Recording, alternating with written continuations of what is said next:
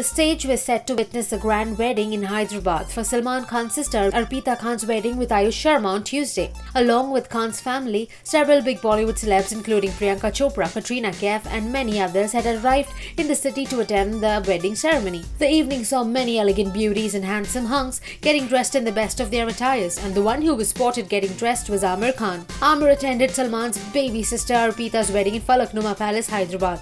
The actor was seen getting ready for the wedding and someone is helping him tie a pagdi. He is sporting a white kurta and is getting a golden pagdi tied around his head.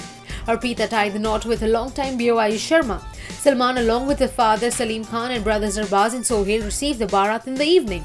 Apart from Aamir, his wife Kiran Rao and son Azad attended the wedding along with B-Town celebrities like Katrina Kaif, Karan Johar, Priyanka Chopra, Kabir Khan and Mini Mathur. Shah Rukh Khan who attended the Arpita's Sangeet on Sunday seemed to have skipped the wedding ceremony.